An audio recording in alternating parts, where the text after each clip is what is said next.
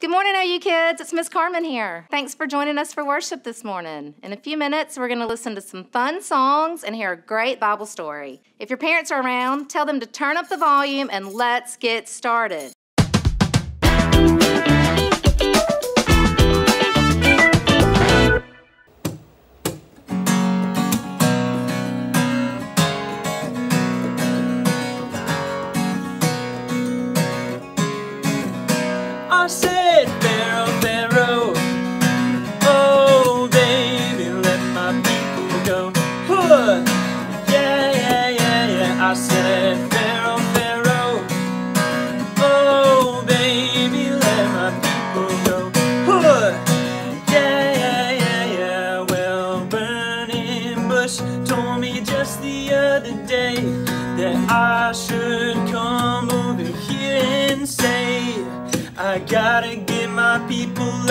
Out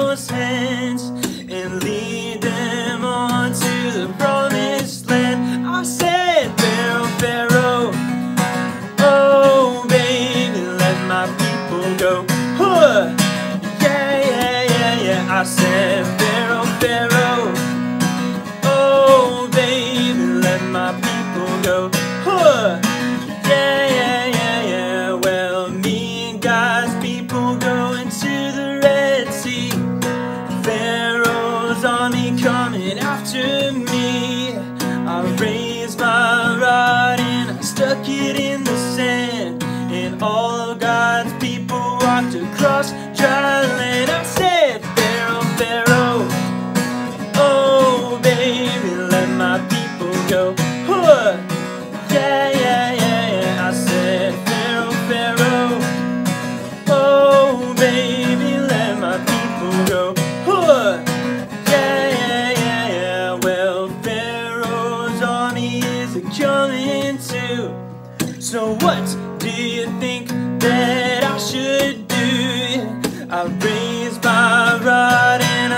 Me clear my.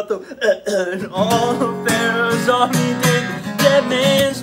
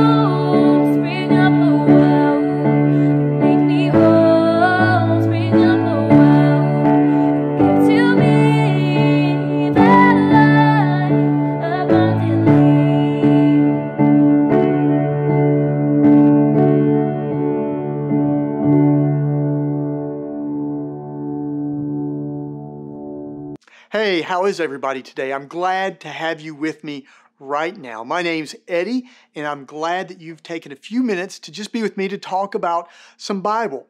If you ever come visit me in my office, you need to know that I have all sorts of crazy stuff in my office. I have one of those nesting dolls from Russia. I have an R2D2 robot. I have plants. I have all sorts of fun stuff. One of the things I have in my office is right here. Do you know what this is? This is an egg, and it's not just any egg. This is an ostrich egg. It's a real ostrich egg. They've drained the stuff out, kind of sealed it up so it'll stay uh, stay firm and won't break at all. But I have this ostrich egg in my office for a very particular reason. There's a story behind it. A long time ago, about 1800, 1900 years ago, when Christians were buried, they would bury them with an ostrich egg. Well, why would they do that? Ostrich eggs are, come from birds that can't fly, they put their heads in the sand, they're just ugly birds. Well, here's what people used to think about ostriches. It's not true, but it's what they used to think. They used to think after an ostrich laid an egg uh, that they wouldn't sit on the egg, that to hatch the egg, that the ostriches would just stare at the egg until it hatched. What was really happening is that ostriches never will leave their leg. They will net egg. They'll never go far enough where they can't keep their eye on the egg that they've laid. Here's why I think that's important for us because one of the things that we're called to do as Christians, as followers of Jesus, is to keep our eye on Jesus. There's a great scripture verse. Jesus was teaching, he was telling people what it meant to follow him. And he said this He said, But seek first the kingdom of God, and all these things will be added to you. He says, Don't worry. Just keep your eyes on the kingdom of God. Keep focused. So, how do we do that? How do we continue to keep our eyes on Christ? Well, here are some of the things that I think that we can do. We can read our scripture stories. So maybe ask your mom or your dad every night before you go to bed just to read stories about Jesus so you can learn what Jesus did and how you can do what Jesus did. And then maybe most importantly, every day pray. Thank God for all the things that have gone right and if things have gone wrong or something hasn't gone the way you wanted it to, just tell God, God, this, this is what I need to pray for today. But continue to keep your eyes on Christ. Continue to seek after Christ. Because when we seek first the things of the kingdom of Jesus, then God will give us the things that we need.